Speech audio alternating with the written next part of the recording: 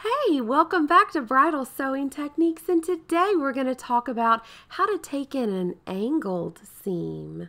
Hey, without puckers. Are you someone who has experience with a mix of sewing but is looking to get into the bridal sewing niche? This channel is for you. Hit subscribe to become a part of the community.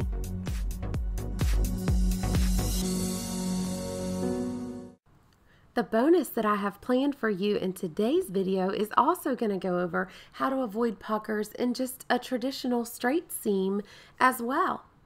Well, let's get back to today's scenario. Today, a bride walks into your studio and she has this beautiful dress and uh-oh, the hips are too big and you need to take this dress in at the hips and look at that seam. It's so different. What are you going to do to work around that angle? First, let's just sit down with a razor and peel the lace away so that we can reveal the seams where we need to work. So here's the lace peeled back where you can see how beautiful this intersection is of seams. With that beauty comes a little bit of complication because if you take it up the traditional way, you're going to get some bunching there at her hip. First, picture a traditional straight seam at the waist, and if you pulled up on that seam allowance, how it would cause that nice, neat, straight seam to bunch up and pucker. Well, the same thing is going to happen here where this meets at the thigh. Here's the side view of a skirt with puckers at the angled seam. This is what we're going to avoid by sewing it correctly. I want you to recognize these puckers so that you know when you see them how to fix the problem. So if you're first starting out, you might think, why is she spending so much time talking about these puckers and showing diagrams of where they occur? But as alterationists, we read all of the puckers and the pulls and the bunches, and all of them tell us where to work and how to correct the problem. So it's very important that you learn to recognize the problem on the outside so that you can fix it on the inside. So here I am separating this whole intersection. Um, we have that nude colored um, mesh there that is, or it's like a netting. It's a little bit stronger than a tulle. Um, they call this second skin is the name of this. It's a, or illusion. It's a super popular style now. Um, but we're going to pull that away and then we also are dealing with the shell layer. That's the outermost layer that you see the most fabric of on the outside. And then we have our lining layer. And then of course we've already pulled away our lace. Now I want you to notice the angles of the way this fabric is cut. This is super important. I want you to take this in, visualize it. Go ahead and burn this in your brain so that you can picture it the whole time that I'm working. It's going to be very important that you hold on to this imagery as I work so that you can understand where I'm working and how.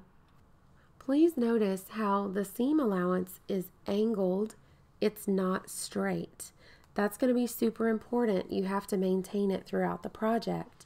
So this mesh layer, as you take it in, the seam allowance is going to get longer and longer and angle down. And then on the skirt layer, as you take it in, um, it's going to point further and further down and get shorter. So let's maintain that as we work. First, I'm going to go ahead and take up that second skin layer um, basically, her hips are just a little more narrow, so I'm going to start bringing them in. This is just the taper, and this is going to meet up with where the skirt is. I'm only taking it up, I think, about a half an inch at that intersection now. So now I'm going to splay open this illusion layer. And then the next step is I'm going to take in the hip um, starting with the same exact um, amount of taking it in as I ended that illusion layer. So if I ended um, at taking it in a half an inch, I need to start my hip at a half an inch and then go on with the shape of the bride, it's pretty much going to be about a half an inch all the way down to um, where the skirt starts to flare out. It'll it'll noticeably change down there and that's where I'm going to do my taper and that's pretty normal wherever um, wherever the skirt starts to come back out, if it's like a trumpet or a mermaid or whatever, you're going to want to taper right into that spot, usually. Now, if you get a bride that's very petite, um, you might need to change where the where the gown starts to um, kind of come out there at the bottom. Now, where have I been, guys? Uh, have you noticed instead of uploading once a week, um, lately I've been doing every other week. Well, what's going on was last year I had a lot more videos that were four minutes long, seven minutes long, quick tips, things like that. Um, and they really helped with my um, library of videos here. And I feel like that we had some necessary things that we accomplished in there. So I'm glad we did it. But it seems like this the, these longer videos that I'm doing um, where I don't edit out quite so much of the alteration project um, and where I just kind of go ahead and not speed it up but teach during the down times. These videos, um, this format seems to be helping you guys a lot more. I've noticed my watch time has gone up, my comments have gone up. I've been getting a lot more interaction, questions, and things like that in the comments down below, and also emails with questions. Guys, keep them coming. I want to help any way I can, and I also love your ideas too. So go ahead and share your ideas down below. Um, but yes, since I'm doing these longer videos, obviously they take a lot longer to produce. So um, it, when I am uploading the longer videos, they're going to have to be uploaded more like every other week instead of once a week. Um, who knows, someday um, maybe I'll get super good at the video production. Oh, wait, I'm going to stop. Look, you can clearly see it in that shoot, uh, in that, in that right there, how the skirt was blousing out and how I tapered into it. Um, I hope you know what I'm talking about. I try to say it all different ways. How it kicks out at the bottom or the flare. Um, I don't want to get too terminology intense. I want to use a lot of different ways of describing everything so that if you're learning, I don't want to be throwing out terminology you don't know. I want you to understand. So if you ever have any questions and I happen to do that, go ahead and throw your question down there in the comments and I'll be happy to try to explain myself a little better. So here I am opening up the seam allowance. With this alteration, part of it not puckering is very important that we open all the old seam allowances, uh, open the old seam, get rid of it, and splay them open. Now what you're going to see me do is um, I'm going to have to cut where this illusion um, is it's going to have the seam allowance of the illusion against her skin in the bodice and then where it meets the skirt the seam allowance has to go uh, in between the skirt and the lining the shell and the lining layers. So I have to snip it all the way to the seam so that it can have that separation without puckering that step was very important. So if you need to rewind and go back and see it, you can. That's the beauty of learning by video, isn't it? All right, so what I'm doing is I'm getting all these layers stacked together flush. Now let's take a break and look at these sketches. They're going to really help you visualize this alteration and it's also going to contain that little micro bonus lesson that I told you that um, this tutorial was going to include. So remember the part about uh, when we take up an angled seam or when we take in an angled seam, the seam allowance gets shorter. I want you to remember that. We cannot sew that seam allowance to this angled seam like we would a level waist seam, or it will pull up and pucker. Can you picture that? See, I drew some, uh, I sketched some little puckers in there. We cannot do that. Um, so it's going to be important that we know how to splay the seam open without sewing it to the waist seam. Now remember your illusion layers, as you take it in, the seam allowance is going to get longer. The satin layer, as you take it in, the seam allowance is going to get shorter. So let's learn first from a level waist on a gown. Um, let's picture one with a pucker and figure out what's going on. Well, sometimes, you know how we like to sew those, like I was saying, the seam allowance is straight. Um, sometimes you can still get a pucker with it if you have taken up the dress quite a bit. One time I had a bride bring me a dress um, that another uh, seamster had been working on and they could not get the puckers out and that's all it was um, was they were sewing the entire seam allowance and they had already taken up the dress significantly. Um, sometimes you can't do that. It, it will pull up a little bit.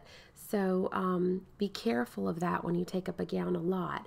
So when I take up a gown a significant amount, sometimes I must put like a little tuck in my seam allowance if the fabric is not very thick. Um, and that's going to keep it splayed. Um, but without, you know, jerking the fabric up anywhere. Now, quite a few times I have worked behind another seamster and I've seen where they have trimmed away the seam allowance.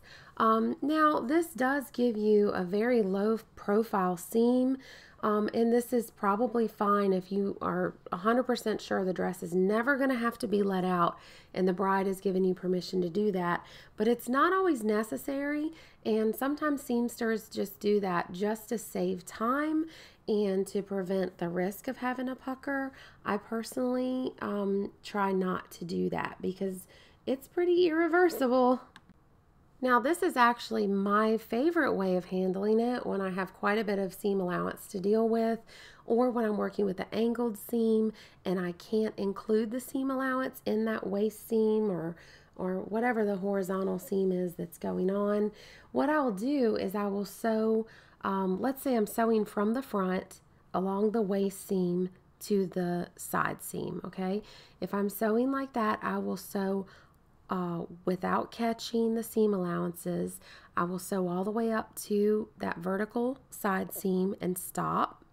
And then I will pick back up at the back and sew back toward the vertical side seam and stop there and not pick up the seam allowance. And then I go back and just do a little tack of three or four stitches that keep it splayed open. Now again, this is not for um, a lot of fabric when the seam allowance really does need to be um, cut out. Or sometimes if we have to splay open a lot of fabric, you'll see that I will um, tack it apart so that it can't be flip-flopping inside um, and causing weird shadows and lumps and lines and things like that. All right, so there was your mini lesson on how to avoid a pucker. And let's get back to our project with the angled seam. And I'm doing the last technique that I described. I'm sewing from the waist toward that vertical side seam and then I'm picking back up and I'm getting it from the back sewing toward that vertical side seam. Trying to use horizontal and vertical. It's hard to do that when we got all these angles, right? Now I have flipped the seam allowances, all of them out of the way, and I'm going to sew from that vertical side seam back toward the back. Didn't take much. I'm sewing it back together, and now I'm splaying open these seam allowances, and you can see they're completely independent from that angled seam where the illusion is meeting the skirt. Now, oh my goodness. what am I doing? Yeah, I'm cutting out. I'm cutting out some of that illusion. It's just dangling in there, guys. Uh, if she did have to let this out At that point, it had already been slit, remember, um, to, to go inside between the layers. That would have had to have been patched over with lace anyways. Um, so to neaten it up, I did go ahead and trim that. Um, and um, I would definitely explain that to the bride and have her permission first. Again, I never cut away anything without permission unnecessarily. So what I'm doing here is I've got a nice strong size one uh, needle here, nice long strong needle and a Tex 40 thread and I am splaying open these seam allowances and I am very loosely tacking them to that angled seam so that they have to stay open and of course, um, at the end of this alteration, I will definitely off camera be taking this dress over to the ironing table and I will iron them open and that's going to help as well. Um, but what I'm doing is a nice loopy long tack that's going to give this fabric what it needs, the laxity that it needs. Um, picture being on a horse, if some of you have ever uh, rode a horse before, you got to give it plenty of reins if it's going to jump or stretch out its neck and work. That's what we're doing with the seam allowance. We're making sure it stays open, but we're not letting it get jerked up um, by that angled seam. So I'm going to go around and I'm going to do this four times just to keep it open and neat. Now let's turn this dress right side out and lay the lace out. Make sure everything is going to lay well. Check all of our intersections of our seams and make sure everything is trued up and neat. I hope you guys like my new lighting that I used in this video. It's a high contrast lighting and I think it makes things pretty clear. I'm actually not sewing in the dark. It's actually quite light in there. It's just the way we have the lighting set up. Unfortunately, the lighting does make my hands look kind of old. I think my hands look like 20 years older under this lighting, but hey, we need the contrast. Um, so anyways, now that you've finished this, what you would do is you would press it, you'd take it to the ironing table, press it, and then you would have to hand sew all this lace down. Now I do have videos um, about lots of the details that were pictured in this video.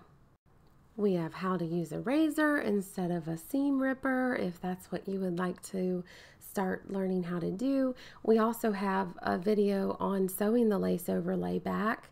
Um, it's really not hard. It, it's a little time consuming, um, but there are some tricks um, to keep your eyes fresh um, and to make it a little bit easier and faster to hand sew that. Now, when somebody comes in your studio with a dress like this with an angled seam and you got to work around that seam, hey, you don't need to be scared of that dress. You can do an amazing job on this alteration. I know you can. Please leave a comment down below. Don't forget to hit like. It helps so much. And hit subscribe and hit the bell and tell your friends. Thank you for watching.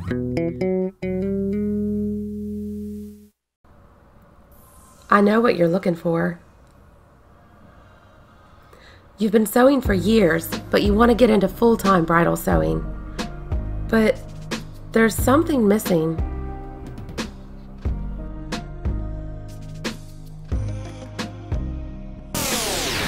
You're missing the backroom secrets, the industry tips and tricks.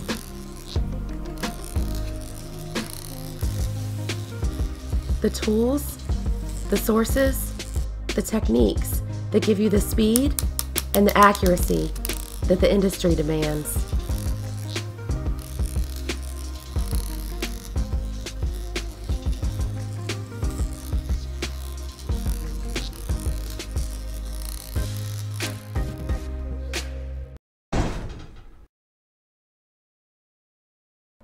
You have found it.